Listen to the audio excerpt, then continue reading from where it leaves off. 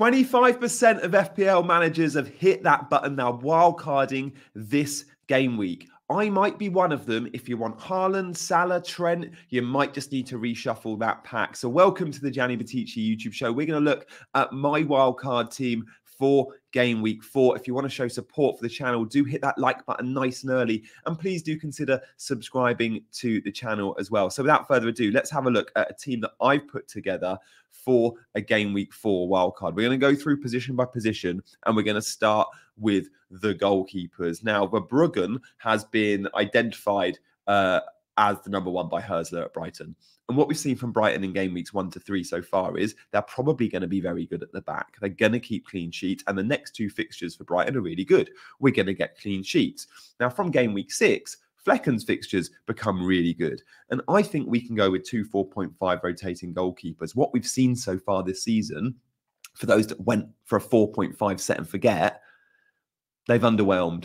And actually, if you've gone for a 5.5, you've probably been rewarded. Well, two 4.5s might just be the answer. So, look, before we look at the defenders, midfielders, and forwards, uh, let me introduce you to a couple of polls that I put out on Twitter. Are you wildcarding ahead of game week four? Well, around 15% had already wildcarded. 25%, this is from over 8,000 um, views at 1,800 votes. 25% are wildcarding game week four, and then around 60% are looking to hold that wildcard a little bit longer. But from that 60%, trust me, some will get twitchy fingers. Um, in terms of Mo Salah, I think he is the trigger for many as to why we need to wildcard, or so many will want to wildcard, because so many can't get to Salah in one move or two moves.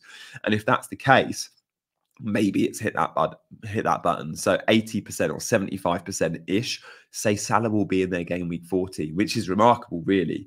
Um, and I think game week five captaincy plays a big part of that. Remember, in game week five, Haaland plays Arsenal. Mm. Well, Salah's got home fixture versus Bournemouth. Um, in terms of ownership, this is from Fantasy Football Scout. In the last 24 hours, we can see the sorts of players that are popular and gaining momentum. And in my wildcard team, spoiler alert, you're going to see a few of these players: João Pedro, Salah, Diaz, Jackson, Eze. Players being sold, surprisingly, the Arsenal lads, Raya, Havertz, Saka, as well as Gordon and Ake. Um, interesting there. Arsenal have two really tough fixtures, but maybe ones they can produce the goods in because it's Arsenal, they're fixture proof. It's Spurs, it's Man City. And then game week six, Arsenal have a really good run as well. This is all from the Scout members area. If you can check Scout out, there's a link in the description. Um, guys, thank you so much, by the way, for supporting the channel just by watching. If you want to watch further and want to show support, the like button and the subscribe button are my best friend. Um, let's see my defenders then, shall we? So, look, we're going to move through the team. I can't afford three optimal Liverpool players. I can afford two of them. So spoiler alert, Mo Salah's in this team. Trent, we can see, is in this team. I would love to accompany Trent with a Robertson. At six million, I think he's a good value. But money's always our enemy in FPL. And Konate at five million still offers a cheap route to that defense. So for the time being, Konate is in. Now, I'm not saying this is a long-term hold, but short-term, Liverpool the only team that have kept three clean sheets. They've got all the best defensive data in terms of the expected data, the shots conceded. Under Slot, Liverpool going to be a beast defensively. Double Liverpool defense might be the play. Now, sure, Jota is attractive and Luis Diaz is attractive, but when that Champions League kicks in, which is very, very soon, the midfielders are going to see, and the forwards are going to see rotation. Gakpo will get games. Darwin will get games. There'll be a lot of early subs. The back four probably isn't going to move too much.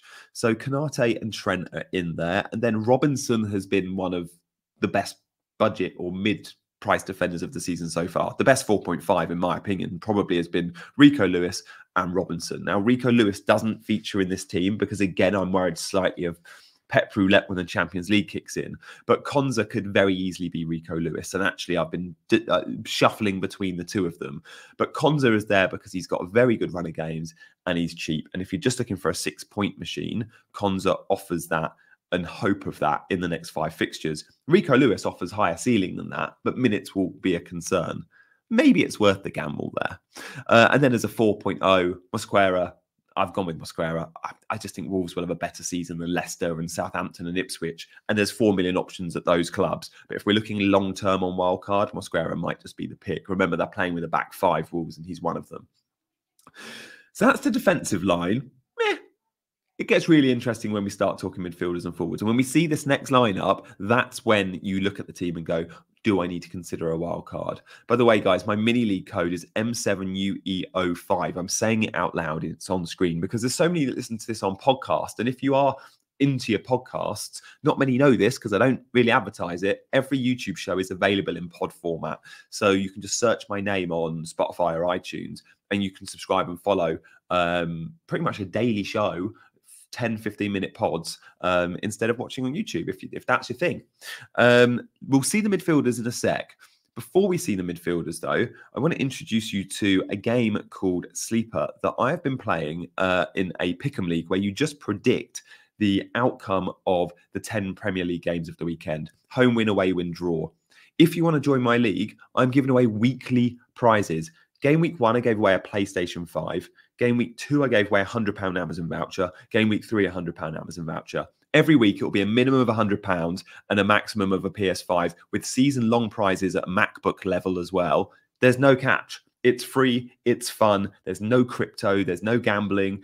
Um, they're not trying to sell you anything if you click, click the link below, uh, you will go straight into my uh, Pick'em League. You can start making your picks and yeah, win big prizes. Um, let's see my team then, shall we? So, uh, shout out to Sleeper, by the way. Thank you for giving me eight thousand pounds worth of prizes. Um, that's pretty cool to give out through the season. Um, midfielders. Let's talk about a couple that are, I think, the glue guys and they are players that don't play for the big, big teams. They are Eze and they are Mbeumo, and they're both around that 7 million price bracket. Eze's had a drop and Mbeumo's had a rise. Now, Eze has very good fixtures coming up. He's got Leicester at home and then Man United at home. I think they're two good home games for Eze. Whilst Mbeumo is two very tricky games, but then goes on an unbelievable run from game week six. Both are players I want in my team, I think, long term. Both are talisman for their teams. Both are on penalties. Eze is playing almost as a number 10. And Mbeumo is playing wide right, but very central and very close to Wissa and is the main goal threat without Toney. Without Toney in the team, Wissa's um, and Mbeumo's numbers are insane. So he's a must have if you're wildcarding in six. Therefore, if you're wildcarding in four, I think you just get him early. You could even afford to bench him through those tricky fixtures because Man City and Tottenham are two tough games. Although I think against Spurs, Brentford score. And then Eze, we saw like game week one and two, so unlucky. Owners have been unlucky, and well done if you kept the faith. Around still in around sort of 25% ish of teams. We saw in the Carabao Cup last week he performed goal and assist, and then against Chelsea, straight away goal with three bonus points. Both are very, very good picks in their own right, and I just get them in early if I was wildcarding. Mo Salah, I don't think we need to discuss Salah. Like, I guess the discussion here is the teams that went Haaland and Salah at the start of the season, which was probably only about 20% of teams, they've won out clearly that was the play. Pick the two best players in the game, pick the two best players that have had summers off, and they've both smashed it early doors. Huge, huge points so far for both Salah and Haaland. Many went just Haaland, some went just Salah. If you went just Salah, getting Haaland in is going to be tricky. You're going to need to probably wildcard to do it. If you went just Haaland, you might be able to reach Salah by selling your Sakas or your Sons in one or two free transfers. Um, Sangare is just a 4.5 fodder here. You're going to need a 4.5 midfielder, very likely. And then at 5 million, look, at 5.5, there's some very good options at 5.5. You can buy Minteh, uh, you can buy Smith Rowe, 5.6, I think he is. But at 5 million, you get Rogers at 5.1 who hasn't produced the goods yet, but Villa have good fixtures. Or you could go with Adama at 5 million. What's really interesting about Adama Traore, guys, is he's now starting games, and actually, he's not always coming off early too. I think he had 90 minutes in game week three, he scored the goal. It was 1 0 against Ipswich, and Marcus Silva went, No, I need you on the pitch at all times.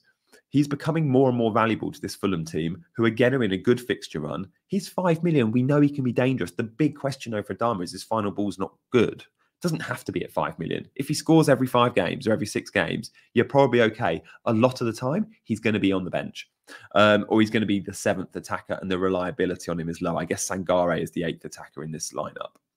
One to consider, Adama, if you don't want to spend the five and a half on, say, a Minteh or a little bit more on a Smith Rowe.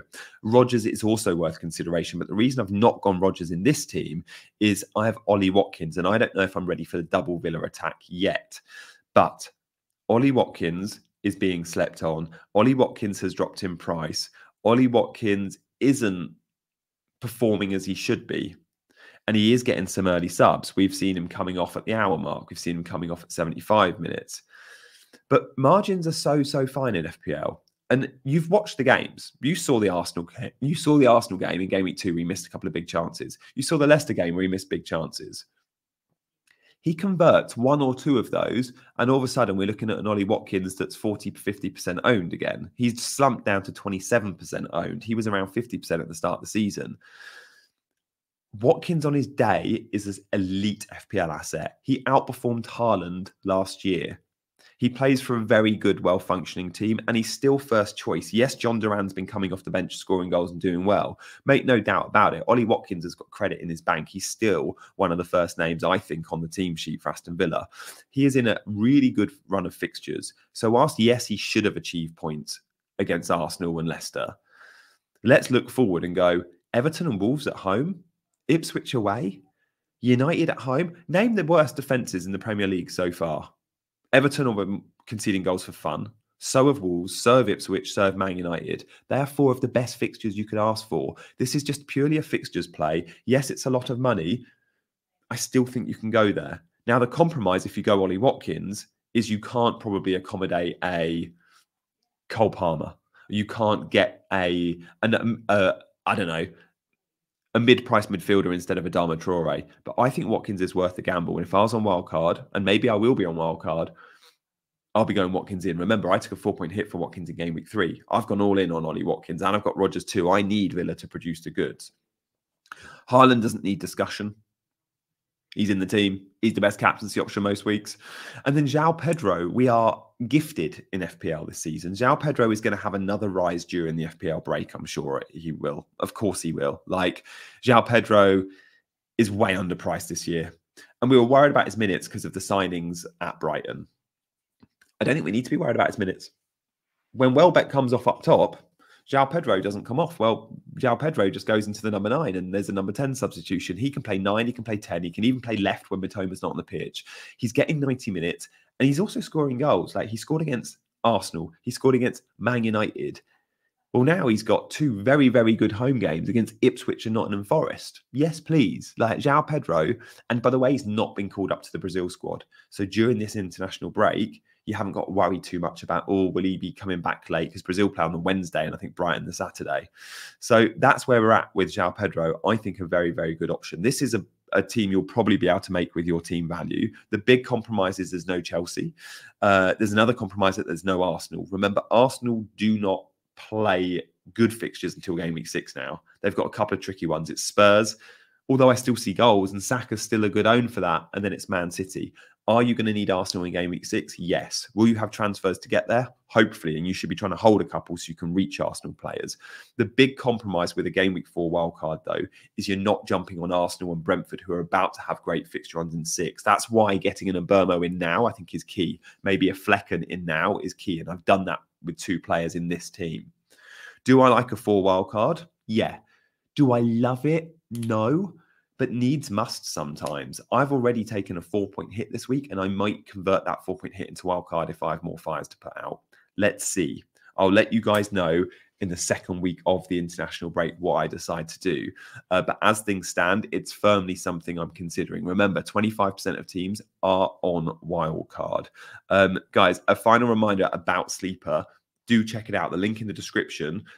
It's a wicked app. It takes seconds to sign up, and I'm genuinely giving away eight thousand pounds worth of gifts to you lot this year. Weekly prizes, season-long prizes. Even in my uh, mini league for my channel members, we're doing monthly prizes. Gucci in Australia just won a hundred pound voucher. Uh, there's no catches. There really isn't. Uh, so link below in the description. As always, guys, thank you so much for watching. Do hit those buttons on the way out, like, and also subscribe uh, to the channel. And I'll see you in a couple of days for another video. Bye bye.